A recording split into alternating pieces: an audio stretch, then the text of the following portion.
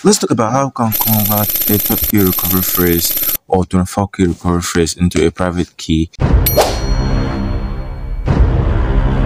You all know that we have all have um, private uh, recovery phrase to uh, places like Trust Wallet, Multicoin Wallet, like this, but there's sometimes that you need to store your in you know access to your wallet in a private key, but you don't know how you can you know make do of that. So now and most times you also want to add your wallet to places like metamask but you need to convert to private key first before you can add it to metamask so this is what you need to do. Do you also want to have great testimonials? Like so many persons who have watched my videos keep having and keep sending every single time talking about recovered fund, money online, and so many stuffs like that. So you want to be sure that you're actually subscribed to my channel. And enable the notification bell button so that whenever I upload video, you'll be the first to see this video. So first thing you need to do is to copy your 12 word recovery phrase.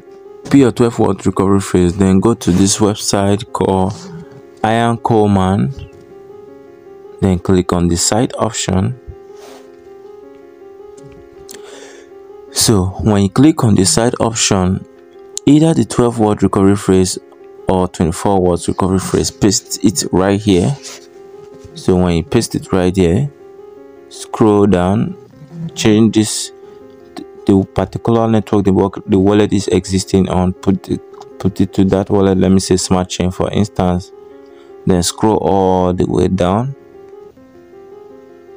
So when you scroll all the way down, the first the first you see rows of addresses and private keys and public keys all right now these rows of addresses the first address you're seeing here the first row which is this one right here is the address to the wallet to your wallet. Then this is the public key and here you are here is the private key you're looking for. So with this private key with this same private key you can import it into your trust wallet. As a private key let's go to trust wallet. Let's import it. I already have a wallet smart chain uh, private key. Okay so you might not you are not seeing what i'm doing on this this end but i just paste it into the private key section. Import and boom i've imported it. Let's look at the address. You could see S418 let's go back to the place. What does the address here ends with? Can you see? 418 so now with the same private key let's import it into our metamask. So you could have your wallet your single wallet existing on metamask and existing on trust wallet at the same time.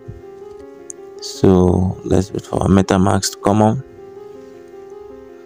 now i've always said this to people that wallet is just is, is a free blockchain. Uh, blockchain is just an open space. Wallet is just an access to blockchain. So so let's go on. Let's click on the menu. Click on this drop down you see right there. So click there. It will give us an opportunity to add new wallet import wallet paste in the private key. I just did that import. Alright you might not be seeing this part of the screen because for security purpose wallet successfully imported. Boom! Now we've successfully imported this wallet. You could see the last three or four digits of the address that is the same. So that's how you can successfully convert a 12 key recovery phrase to a private key. Please like and subscribe to my video so you want to hit that subscription button right now subscribe and see you in my next video